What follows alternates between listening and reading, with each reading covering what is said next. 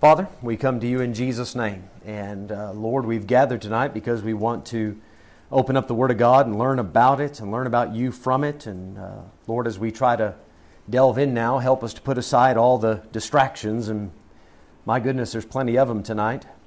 But Lord, still more, we want to keep our eyes on you and not on the angry waves that surge against the soul. And Father, speak to our hearts tonight. Let us walk away tonight uh, having met with you and spent time in your presence. In Jesus' name, amen. Amen. All right, you can open to uh, Luke chapter 24 and get verse number 44. Tonight we begin our study in biblical survey.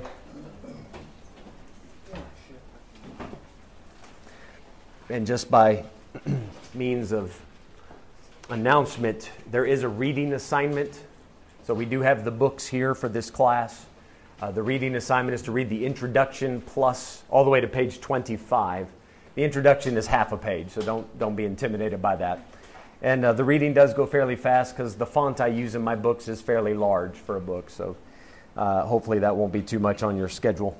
Luke chapter 24 and verse number 44, Jesus is going to give us a breakdown for the Old Testament. Now, of course, the first part of biblical survey, we are going to go book by book through the Old Testament but I want to give you a few introductory thoughts and notes on the Old Testament as a whole and try to help you understand it not only from the Christian slash Protestant perspective, but also from the Jewish perspective.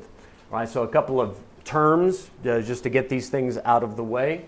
The Jew, what we call the Old Testament, right? A Jew would just call the Bible. And to be honest, I'm not so sure he would call it the Bible. If he's a really good Jew that sticks to the Hebrew, the word Bible comes from a Greek word, biblios, which means the book or book. Uh, so you guys have it in Afrikaans, bibliotheek.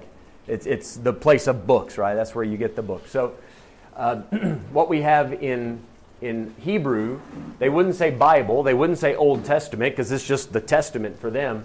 They call it the Tanakh. The Tanakh. Now, the Tanakh is a, uh, an, a word, it's a made up word. They took the beginning of three other words and put them together to come up with Tanakh. Their Bible breaks into three parts. They have the Torah, which means the law. They have the Nevim, which is a Hebrew word for the prophets. And then they have Ketuvim, which is the Hebrew word for the writings. Right? So we have the law, the prophets, and the writings. So if you take the first part of Torah, you get the ta part. Then you take the Nevim, you get the na part, and then Ketuvim, you get the kh at the end. So that's Tanakh. So if you're talking to a Jew, you use the term Tanakh, he is probably most likely going to know exactly what you're talking about.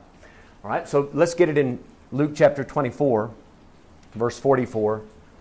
Jesus said, and, and he said unto them, These are the words which I spake unto you while I was yet with you, that all things must be fulfilled which were written in the law of Moses, there's part one, that's the Torah. And in the prophets, there's part two, that's the Nevim. And in the Psalms, there's part three, concerning me. All right, so the reason Jesus would say the Psalms instead of Ketuvim or the writings, Psalms was the first book in that third section.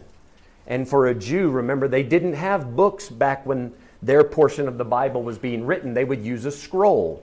So when you handed a Jew this portion of Scripture, this writings or the Ketuvim, the first title on that scroll would be Psalms. And for many Jews, if you say, Hand me the Psalms, you are handing him this entire portion of the Bible. All of these books of the Bible would be included on that scroll. So this is like a heading, it's like a name or a title for that section of the Bible. So you could call it the writings, sure, but also Psalms would be an acceptable title for it. And that's the, the breakdown that Jesus gives us for this. Now, what is the purpose of the Old Testament? Well, again, it depends on who you ask. If you ask a Jew, the purpose of his Bible is to tell his story. It is the story of their nation. Our God is the Creator God. And then that Creator God eventually chose our forefathers to be blessed and, and um, to have great revelation from God, and He elevated them. And now the Jews are the specially chosen people of God. meant to be a light to the world. And all nations should eventually come to the Jews for their light, for their law, for their teachings, and so forth. So, in the Jewish mind, the Bible is there to tell their history. And that's why the order of their books are different than the order of our books. They order their books. There's some debate as to why they do this, but some Jews even debate this. They will say that they order the books of their Bible based on the level of their inspiration. So we would consider every book of the Bible equally inspired, right? We believe the Holy Spirit superintended all of the writing, but then also breathed into those words after they were penned, thus bringing them to life. So all the words of the Bible, in our estimation, are inspired of God. In the Jewish mind, the Torah, that's gold medal. And then, second place, you'd have the prophets, and third place, you'd have the writing. So they don't see them on equal footing, and they say we order our books by the level of inspiration that we attribute or believe to be in each book. Now, also, a Jew would uh, look at this and say that he's ordering the books to tell a particular story. God started off, everything was perfect in creation, and then things went downhill. But then after the flood, eventually Abraham comes. God chooses Abraham. He's their, uh, the forefather for the Jews. And now God has set up a plan to bless the world. Everybody remember this from Genesis 12? In thee shall all families of the earth be blessed. So now they, they see, the Jew looks at this and says, Well, you see right away, the Bible is focused on the Jewish people blessing the world. So then you have Israel going into captivity, but God miraculously brings them out. And on it goes. God gives them instruction, and then you have their history. You have these prophecies about them being punished. But then by the time you get to the end of their Bible, their Bible ends at Second Chronicles. I don't know if you, I hope you've read your Bible. I hope you've read Second Chronicles. If you know how that story ends, at the end of Second Chronicles, you read where Cyrus, king of Persia, tells the Jewish nation, Go back to your land. Well, now, in the Jewish mind, that's as good as it gets. That's what they want. They want to be restored back to their land and have their kingdom back. They want to have control over their own land. So, this order of the books it tells the story exactly the way they want to hear it. It ends on a high note for them, with them going back to their land. Uh, take your Bible, come to Matthew chapter 23, and you'll see the Jewish order of books in the words of Jesus here again. Matthew 23.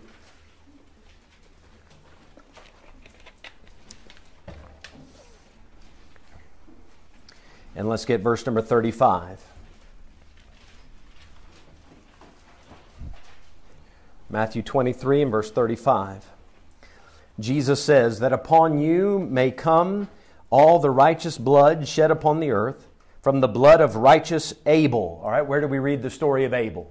Genesis. Genesis. Unto the blood of Zacharias, son of Barachias, whom ye slew between the temple and the altar. Anybody know where the story of Zacharias is told? That's Chronicles. That's over there in Second Chronicles. So Jesus says all the righteous blood and then he gives us two bookends from Abel to Zechariah that was slew by the temple, there by the altar. So he gives us Genesis to Chronicles, thus outlining, if you will, a start and a stopping point for the Jewish Old Testament. Now, their order of books is the same information that we have in, in our Old Testament, but they order them differently. So, just to walk you through it, the Torah is the same as it would be in, in our Bible tonight. And then Joshua, Judges, that would be the same, but then things begin to change. The book of Ruth, as you can see, is over here on this side. Can everybody see that? Okay. Everybody back there, can you see this a little bit? A little, not so much. Okay. So Ruth is over here. So you get Genesis, Exodus, Leviticus, Numbers, Deuteronomy, Joshua, Judges, and then in their Bible it goes to Samuel and Kings. Now, I, and I've written it, it, it is like that in their Bible. It's not First and Second Samuel. In their Bible, it's just Samuel and Kings. Now, even in other uh, uh, Christian editions of the Bible, these names have changed.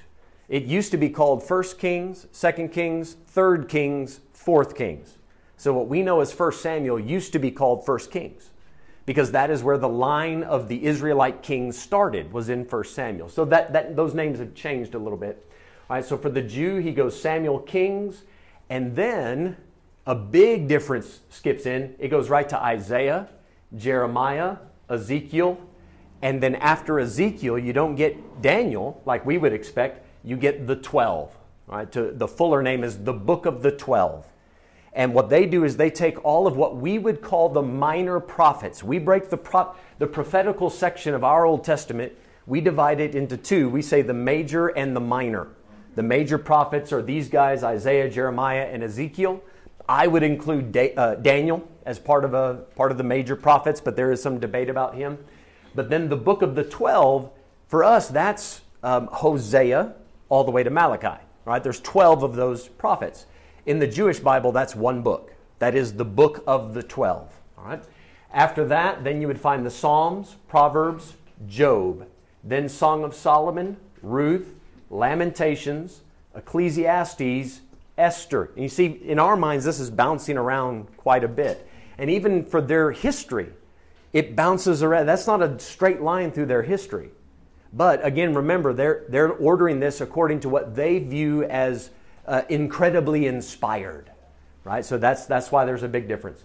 And then towards the end, they have Daniel, Ezra, and Nehemiah is one book in their Bible, and then Chronicles. Now, just like we saw with Samuel and Kings, they do not make first and second Chronicles, it is just Chronicles. So it ends on, in their mind, a high note. Go back to your land. Now, just an interesting little note on the book of Daniel. The Jews do not count him as a prophet. I don't know if you noticed this on the list. He's included in the writings. So this is more what we would think of as the historical section, right? When they say writings, they're just talking about um, spiritual poetry and spiritual history, you know, the history of our nation from a spiritual point of view. So they see Daniel, they see him not as a prophet, but more as a visionary. Now, I don't want to get into all the nuts and bolts as to how the Jews decipher between the two. But they don't think that Daniel prophesied the same way Isaiah and Jeremiah did. They view those two, two uh, scenarios as being different. Isaiah, Jeremiah, Ezekiel, etc. These men, their, their spirit, if you will, intertwined with the Holy One, and thus they knew what to say. Whereas Daniel had a dream, and then he just talked about the visions that he saw in the night. So they see it as a, as a bit of a difference. Daniel, they don't see as inspired as the other guys. Now, I am very happy to rather consider him a prophet. I would definitely put him into this section. I would put him into the major prophets. Right? The reason some call him a minor prophet is because he only has 12 chapters. Right? Hosea has 12, Zechariah has 14. So they say, you know, he's minor because he didn't write a lot. And even half of that even though you know it's prophetic, there's there's a lot of narrative. Daniel being thrown into the den of lions and so forth. That's a story and not so much a prophecy, right? So they consider him minor because of the size. But when you consider the content, man, that is action packed. There's a lot of stuff in the book of Daniel. So I would consider him major. Now, the reason I'm going to definitively say he's a prophet and not just a historian is because Jesus said, Daniel the prophet. Right, you guys remember that in Matthew 24, verse 15? He said, You can go and read in Daniel the prophet. So Jesus considered him a prophet. I'm very happy to have him as a prophet as well. So the Jewish books, if you count them up, there are 24 altogether. Some Jewish uh, rabbis and scribes and so forth, they will try to condense this just a little bit Sometimes they push Samuel and Kings together. Sometimes they'll put Ezra and Nehemiah together with Chronicles, something like that, because there are 22 letters in the Jewish alphabet. And they think it would be a very nice irony or, or coincidence, if you will, a tufalach, if you can have 22 books to go with the 22 letters of the alphabet. But nevertheless, I'll let them argue about that. Uh, as far as I can tell, there are 24 standalone books. Now, the purpose for the Old Testament, according to the Jew, for their Bible, tell the story of their people. Now, what, how do we view it? What, what, as far as a Christian reading the Old Testament, what is the purpose of it? I, I would say this this is a story of how God made the world and then saved the world. I, and that's as simply as I can put it. This is how God made the world and how he saved the world. Does it tell the story of Jewish history. Absolutely. Nobody can deny that. But if you notice in the Christian Bible, in the order of the books, everything has one theme, and it's not Israel. They play a major part in it, but the, the theme is the Messiah. The focus is on how are we going to get out of this mess. So when we read about Abraham, where it says, through you all families of the earth shall be blessed, we do not read that and go, well, the, the nation of Israel will bring about this blessing. We read that and say, through Abraham, we get the Messiah. Jesus Christ comes into the world, and through the Jewish nation, the Bible comes into the world, and thus the whole world gets access to God through God's Son and God's words. So we see the, the Jews simply as a channel or a conduit for God to reach and save and bless the world. So for us, the Old Testament has that overarching purpose to build up to the Messiah. Now, take your Bible, look at Malachi chapter 4. Just at the end of what we have as the Old Testament.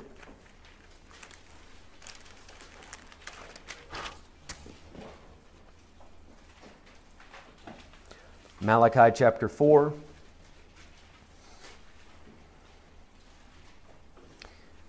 And verse number, let's get verse number 4. Malachi 4 and 4. the Bible says here, Remember ye the law of Moses, my servant, which I commanded unto him in Horeb for all Israel, with the statutes and judgments. Behold, I will send you Elijah the prophet before the coming of the great and dreadful day of the Lord. So, as we finish the Old Testament, we are looking forward to, we're told to think about Moses and look out for Elijah. Now, you know what happened when Jesus is standing on the Mount of Transfiguration? Moses and Elijah. And that is why Peter, right, says, let's build tabernacles. because if you read the Old Testament, you know that the Messiah is scheduled to come right about the time of the Feast of Tabernacles. Let's build tabernacles. Surely this whole thing's wrapping up now. Verse 6 and he shall turn the heart of the fathers to the children, and the heart of the children to their fathers, lest I come and smite the earth with a curse. Where's the next time you read that in the Bible about somebody turning the hearts of the fathers and the children back and forth? Where do you read that? Now, we do have something like this in Isaiah. It's linked to that. Do you know? It's Revelation. Nope. John the Baptist, that's it. Luke chapter 1 when the angel Gabriel shows up to Zacharias, father of John the Baptist, he quotes this to Zacharias and says, Your son is going to fulfill this. So at the now remember Malachi, this is you know about 400 BC. This is the last thing chronologically that God has said to the nation of Israel. After this point, he falls silent.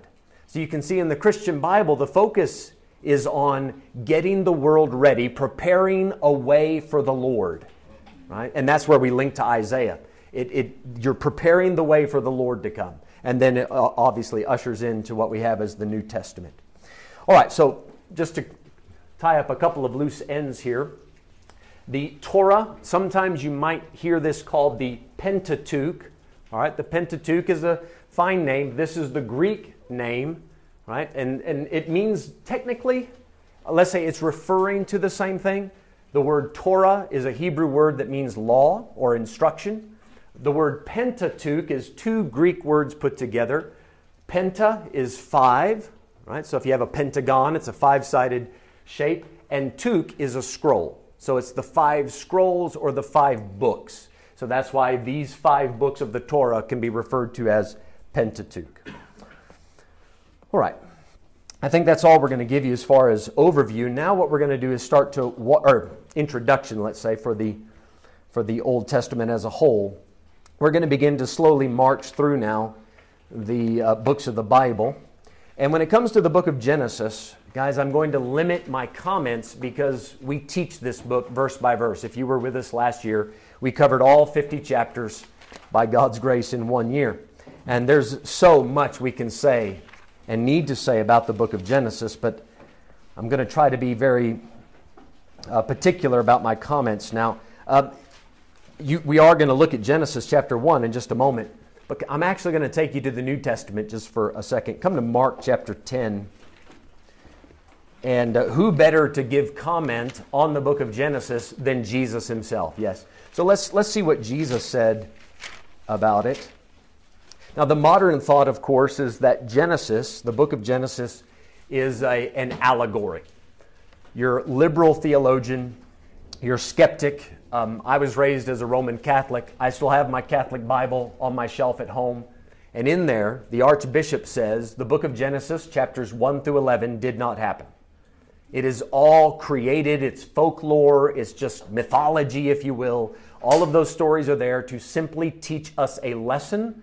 There was no person named Adam, there was no woman named Eve, they didn't eat anything, there was no worldwide flood.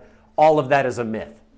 Now that's coming down, I mean, that's under the authority of the Pope, but these archbishops are teaching that. And they're not the only, uh, let's, if I can use the term loosely, Christian. They're not the only Christian denomination that views the the book of Genesis in that light. Many people think because of modern day science, you know, the, the heavy emphasis on evolution, the emphasis on uh, the age of the earth being millions, if not billions, you know, billions is for the universe, but the age of the earth would be millions of years.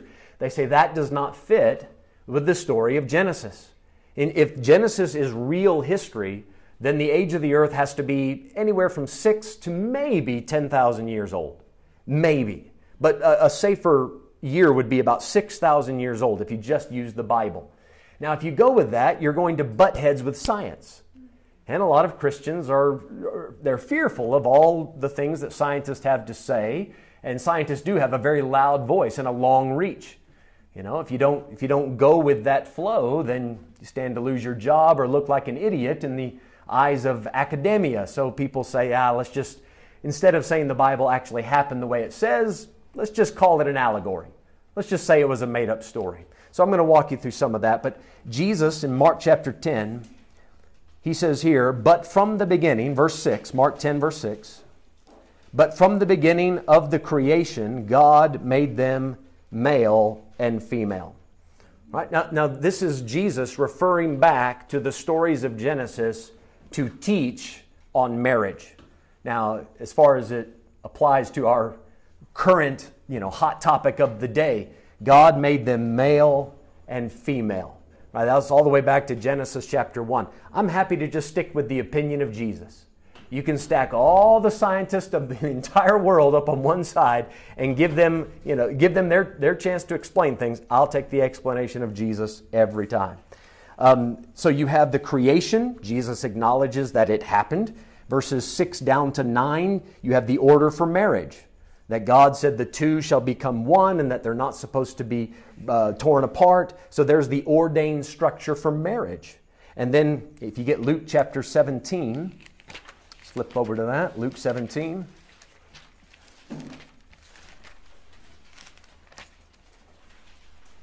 Now, I'm going to talk more about the scientific aspect of this in just a moment, but I want you to see from the mouth of Jesus, creation, according to Jesus, creation happened. And it happened the way you read it in Genesis. The ordained structure for marriage a man and a woman, married and supposed to stick together. Divorce should, should not be an option, right? That's not the way God set it up. Jesus is acknowledging Genesis. And then Luke chapter 17, verse 26. Luke 17 and 26, if I can not find it, but see it. Whew. There it is. It says, And as it was in the days of Noe, that's the New Testament spelling for Noah, so shall it be also in the days of the Son of Man. And then in verse 27, it just explains it. They did eat, they drank, they married wives, they were given in marriage until the day that Noe entered into the ark and the flood came and destroyed them all. Jesus acknowledges these things. Not, he's not tipping the hat to them as good stories. He is acknowledging them as a real part of history. So when we read the book of Genesis, the right way to read all of its information is that it is genuine history. That's from the mouth of Christ. So I, am going to stick with that. Now, in the in our Genesis class, we give you various outlines and breakdowns. So I'm going to skip doing all of that now. Um, when you have the book handy and you read through it, you're going to have all of these outlines. So I don't see the need to uh, say it out loud with you in class tonight. But take your Bible to Genesis chapter 1. I do want to say one thing about the scientific aspect of the book. You'll hear people say things like this that the Bible is a religious book and it's not a science book. So we should not learn science from the Bible. The Bible is only there to teach us religion. It's there to teach us how to be good people, how to love one another. Well, amen. I, I agree with that. But I also think the Bible is, when it speaks on historical things, it's right. When it tells us things about archaeology, it's right. And when it makes claims that, can we say, uh, crosses the line into a scientific field, I find it to be accurate. Now, now, let me explain what I mean. Genesis chapter 1, verse 1. In the beginning.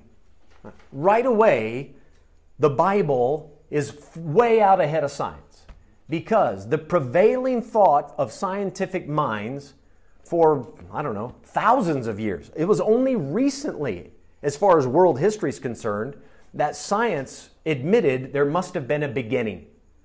Right? The whole Big Bang theory, that is not an old, old theory. That's something that's come about relatively recently in the history of the world.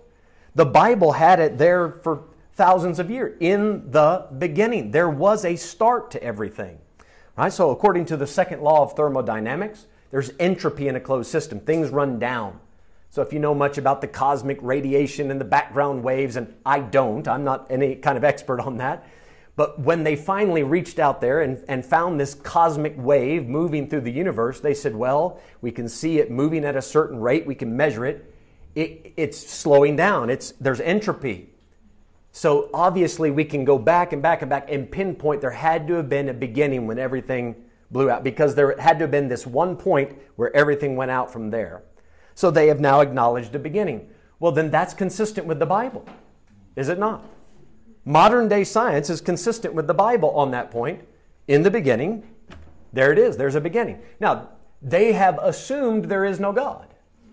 That's a presumption. They started with that idea. They, they, they haven't tested that theory.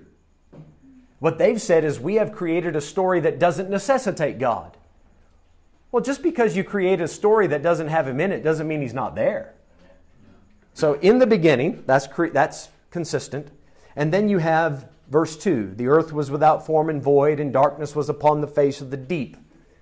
Verse 2, uh, 3 rather and 4, God brings forth light. There's light and darkness, and, the, and there's a separation between the two. Now, I must admit, it's difficult to uh, really say much about this scientifically because after God brought everything into existence, then he begins to shape everything. He begins to move things into their place. He brings light into the universe and so forth. But I've read a few science books. You know what they admit? That there's a darkness out there. They call it dark matter and dark energy. And they say there's at least 96% of the known universe, they say we have no idea what it is or how it works. So that's why they call it dark energy, dark matter. There was darkness upon the face of the deep. So th- there it stood in the Bible that there is some dark stuff out there and that not all of it has been lit up yet. So I, I don't think there's any contradiction. Science would not be able to say that verses 2, 3, 4, and 5 are wrong. Science would say there is a difference between light and darkness. There's a difference between day and night. Is that not consistent? Okay. All right. How about this? Verses 6 down to 8. God makes a firmament. All right. Look outside. Just look outside. Is there sky or is it all water? Are we under the water? Is there sky? Oh, now we're almost under the water with all the rain, right? but that's, that's firmament, that's open space. That's what God ended up calling the heaven, that we refer to it as the first heaven. That's, that's Genesis. What is science? Science, they say, is the rational conclusions of observable facts that you can test, retest, and retest. Okay, I can look outside every day. You know what I'm going to find? The same conclusion. There's a firmament. so that's consistent. There, there's nothing, the Bible's spot on there. The next day, what did God do? There's a dry land, right? He brings back the water. The, the earth was covered in water. Then God recedes. He causes the water to recede, and now there's dry land. And then there, what I would call oceans, you guys would call seas. The Bible has you on this one. You're right, it's seas. yeah? So, so go to the uh, and what will you see? Dry land and water. Well, there it is. Genesis is consistent with that. So I don't see where they say, well, the, you know, the Bible is just religious and science tells. Everything the Bible's telling me, I can go out and observe as a fact. The next day, what happens? Oh, forgive me, one other thing. God brings forth trees and they're yielding fruit. You know what God said about the fruit? It will bring forth fruit after its kind. So an apple tree makes what? You see how easy this is? You don't go to an apple tree expecting lemons. You don't go to a mango tree expecting coconuts. Why? Right here in the Bible, it tells us what to expect from, from nature, from trees. I find that to be consistent, and science would t- not be able to tell me otherwise. The next day, God brings forth the sun, the moon, and the stars. And then, if you look in verse number 14, God said, Let there be lights in the firmament of the heaven to divide the day from the night, and let them be for signs, for seasons, for days and years. You know, ever since mankind has been writing things down, he has been notating time according to the sun, moon, and stars. They've been navigating and, and measuring the seasons by the sun, moon, and stars. There it stands. Science would not argue that. Right? The next day, we read about fish and fowl coming forth, and they brought forth after their kind. There's whales. Well, go down to the water. You know what you find? Fish and fowl. You got birds flying over, you got fish moving in the sea. That, that's consistent. Right? There's nothing different there. And then verse 24 on down, you have day six the dry land animals, the, the, what we call mammals generally, right? The beast of the earth, and then us. We, we humans, we come out of the dirt, right? And then the Bible says we bring forth after our kind. Is that true? Is that what we observe? Is that what we see on an ongoing basis? Yes. So ev- when I look around at life happening, and then I look at Genesis and I say, this is exactly what I would expect to see happening. So my scientific mind and my religious mind go perfectly together. I see no contradiction. The problem is, the reason the scientist doesn't like that story, even though it's obviously observably true, is in this version of it, there's a God making all of that happen. There's a God who set it up. There's a God who is fine tuning the universe. And if there's a God who's doing it and who's intimately involved in what's working and watching over it, then maybe he's recording what you're doing. Right? And, and if he's recording it, perhaps you're going to be judged. And if you're going to be judged, then you might be guilty. And if you're guilty, you're going to be punished. So, in order to erase the guilt and the fear of punishment, take him out of the story. It really doesn't have much to do with science.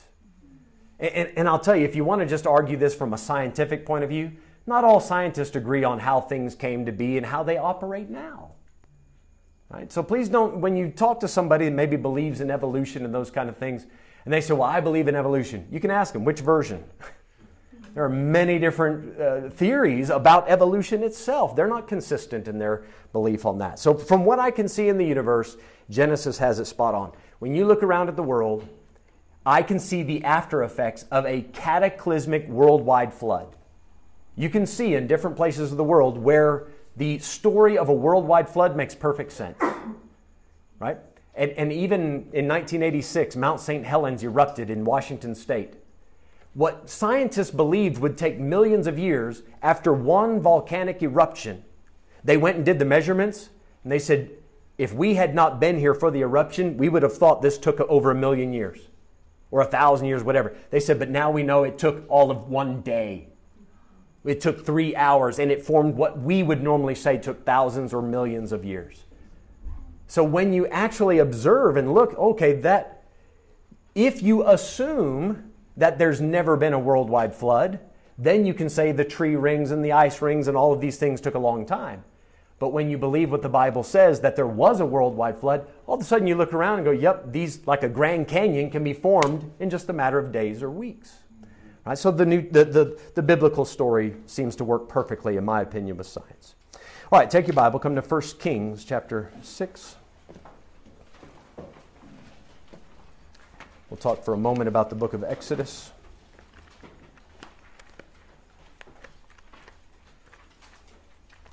First Kings chapter 6, and uh, give you a little bit of history on the book first. The word Exodus is a Greek word from, it pretty much sounds the same, exodus. And uh, it means departure, it means to exit something. I think you can see that in the word itself. There are various ideas as to when it was written. Um, a lot of argument actually goes into that because when you try to read the Egyptian records, you, it is difficult. The Egyptians were not great at, at recording everything, so it's a bit tough to nail down the date of it. But the Bible, I think, helps us with this. 1 Kings 6, verse 1. says it came to pass in the 400th or 480th year after the children of Israel were come out of the land of Egypt in the fourth year of Solomon's reign over Israel in the month Zif which is the second month that he began to build the house of the Lord. There's a timing mentioned right? 480 years after after uh, Israel left Egypt. Then Solomon began to build. So you guys help me do a little math here. Solomon his reign started approximately 990 BC. Right, he says 480 years. Right, after Israel came out, that's when Solomon is doing this. All right? So you have to add it because we're going backwards. That's why I'm not subtracting. We're in the BC, so we're going backwards. So if you add this together, you come to this date 1470, thereabouts. Now, there is discussion. There's always a.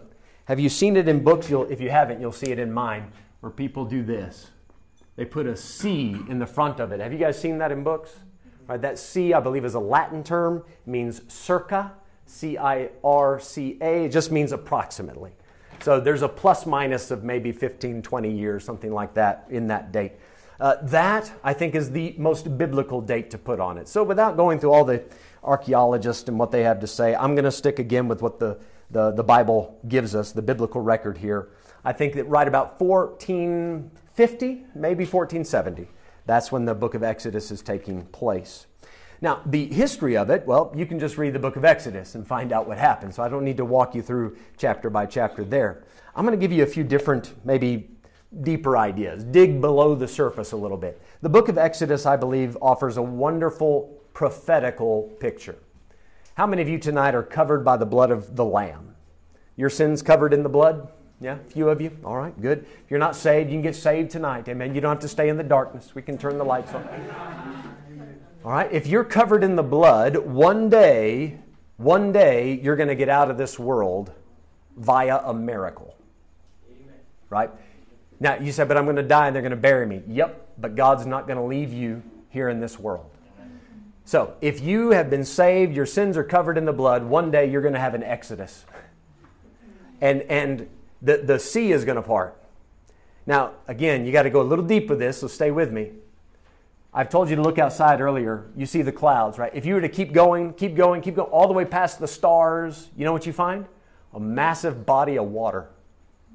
So there is water under the heaven. That's what we call the oceans, the seas. And there's water above the heavens. So one day when the rapture happens, you know what's, what God's going to do? He's going to hold that staff up, and that, that, that sea is going to part.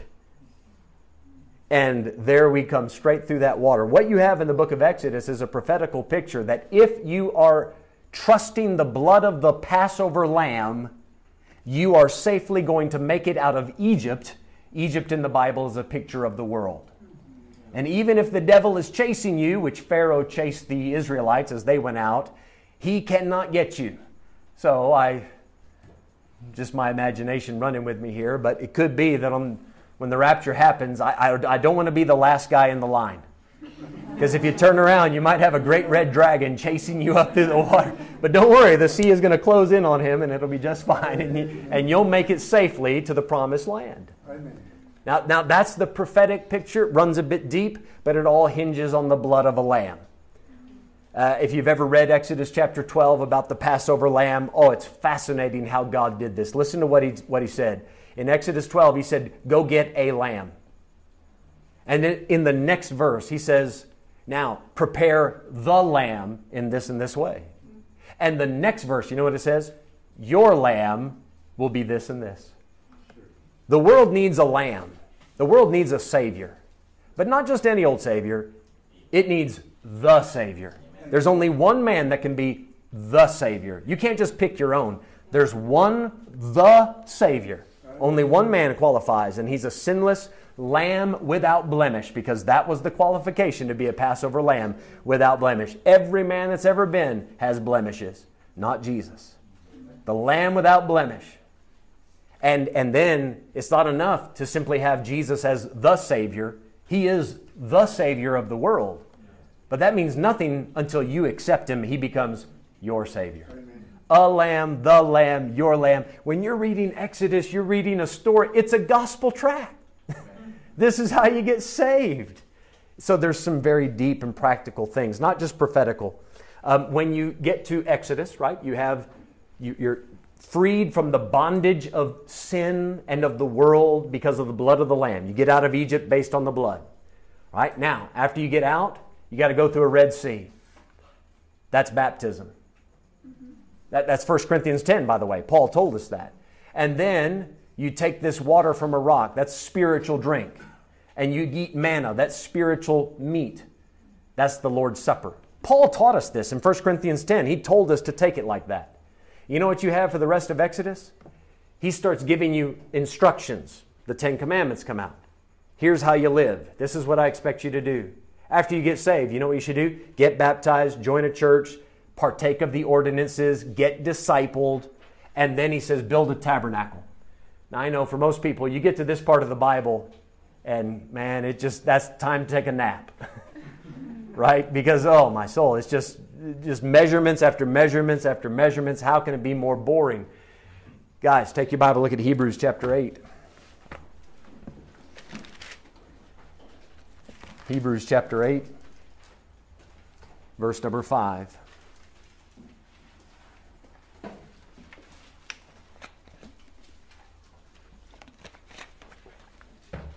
Hebrews 8 and 5.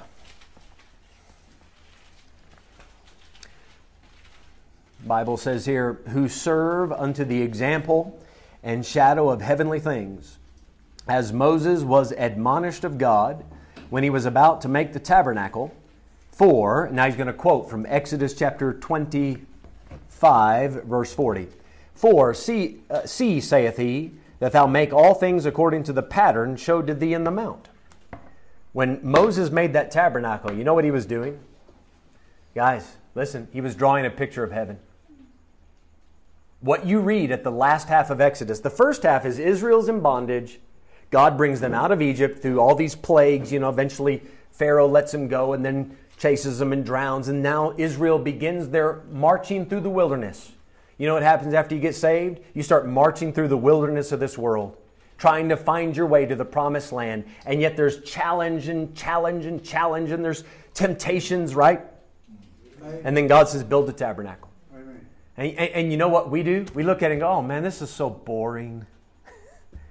That's, that's how a lot, that's where the devil gets a lot of Christians. Listen, you younger guys in here, you younger ladies, listen to this. Because you're all fired up. Ooh, I'm in Bible school. Give it a month. Give it a couple months and the excitement kind of dies down, the dust begins to settle, and oh man, it's just a tabernacle. I got to read, you know, five cubits by five cubits by. and as soon as it becomes boring, a lot of people quit.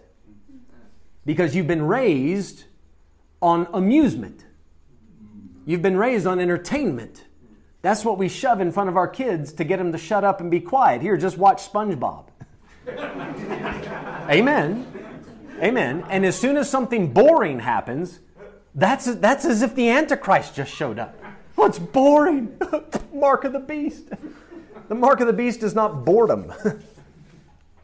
you get to that tabernacle, and God says, Now, if you really want to know, I'm going to show you something that you'll never see anywhere else on this earth. I'm going to show you a picture of heaven.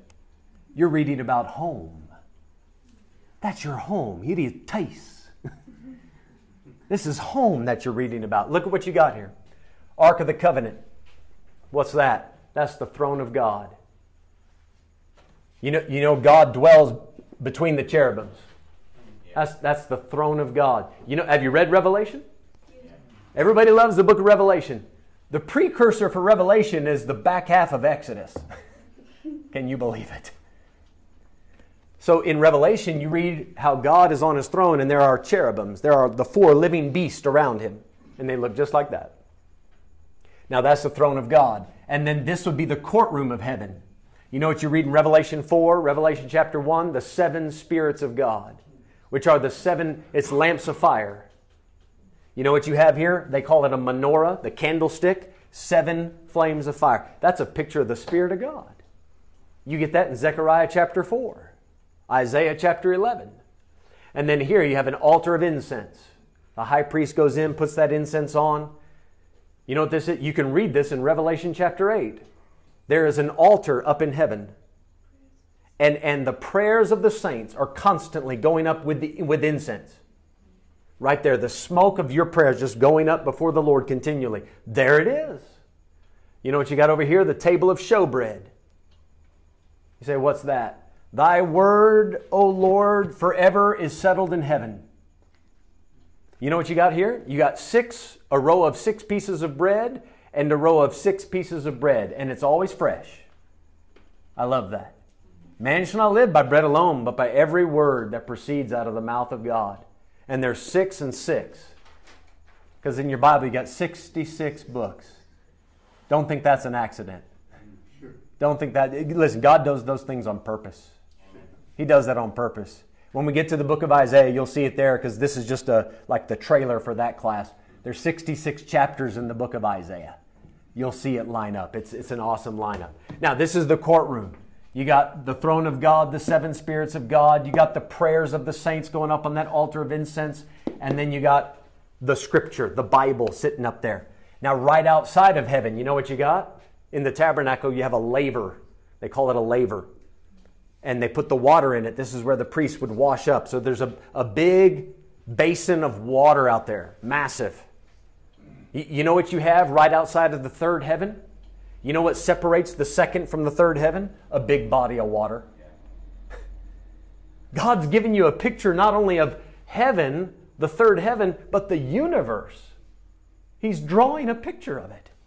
And then if you go down, all the way down on the map, you know what you have out here? You have the brazen altar. And the Bible says the fire of this altar should never go out. You know what that makes it? Unquenchable fire. I, I know where that's at.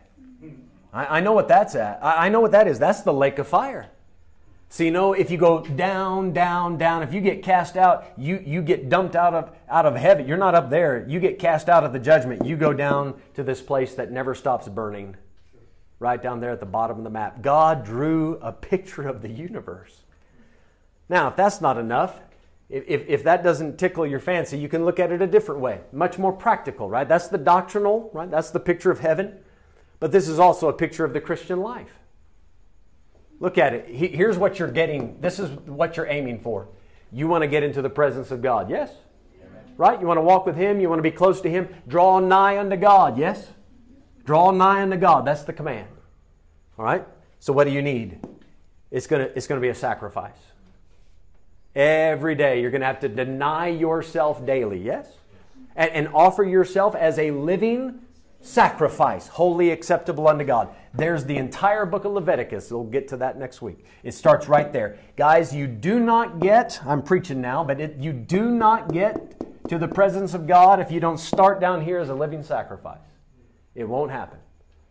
So, where do you get this? The book of Exodus. Can you imagine? That's going to be a sacrifice. It starts here, and then you better get cleaned up. You need some holiness.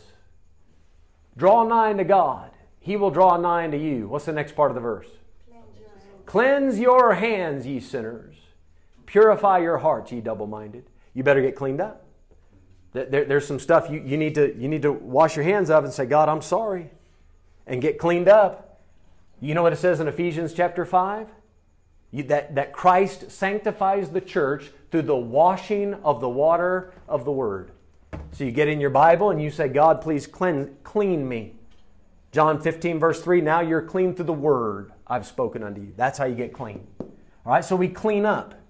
Now, we, we're getting a little closer to God. You get into this courtroom, this inner portion of the temple or tabernacle. You better be filled with the Spirit. Amen. How are you going to get that? The Spirit shines light on the Word. Yes. And, and if you're if you, you're in here, you need the light so you can eat the bread, but you need the bread to have the energy to go keep that candlestick lit. These two things work together. They stand over against each other, not, uh, not versus one another, but supporting one another. You need the Holy Spirit walking with Him, filled with, fill, filled with the Spirit. You need the Bible, and you better have some prayer. That incense is a picture of prayer. You get all of this together, and you'll find yourself ushered into the presence of God. It's a perfect picture of the Christian life, what it's meant to be. Sure. So the book of Exodus has a lot to offer beyond just mm, five cubits by five. you, you might be interested to know all those numbers mean something also, but we just don't have time to get into that. So we'll stop right there. Okay, guys, I didn't get as far as I'd hoped, but we started a little bit later than I thought we would as well. So this is as far as we'll get. Any questions about any of this? If you're raising your hand, you might want to say something because I can't see any hands. Yes, sir. It's, it's more of a comment than, than uh, um, a question. Uh, it, it goes back to the creation story in the beginning of Genesis. I don't know uh, if anybody heard about the scientist Herbert Spencer. He got, um, I think it's a Nobel Prize. He found out that with in any creation, when anything is created, there's five things got to be present, and it's, it's time, force, action, space, and matter. Mm-hmm. And he received the Nobel Prize. And but if you read his Bible, you would have seen that Moses actually had to get the because it's in the beginning, time, God, force, created actions, heavens and the earth. So That's it. It's all there. Everything you need in verse 1. You're absolutely right. Uh, Did- Was there another hand? Yes, sir. You, you mentioned that the Jews um, order their books according to the according to inspiration or uh, Yeah, the level of level of inspiration, yeah. Um, just out of curiosity, how do they measure that? That, that's a great question. It's, it's what they consider to be the most important. Or, uh, let's say, like in the case of Moses, you must, and I think we'd all admit this, the interaction that Moses had with God was much more intense than what Isaiah or Jeremiah had. Right? Moses spent 80 days face to face with God on Mount Sinai. No other man on the board or in the history of the world outside of Jesus can say that. So I think that's why they would say his books are going to be more authoritative than maybe some of these other guys. I, I would assume that, but that is not something I've really, I've never talked with a, a rabbi about that. I've, I've read just briefly on it, so that's about as good as I can answer that. All right, anything else? Okay, let's take a break. You guys get some fresh air. We'll start again in about five minutes.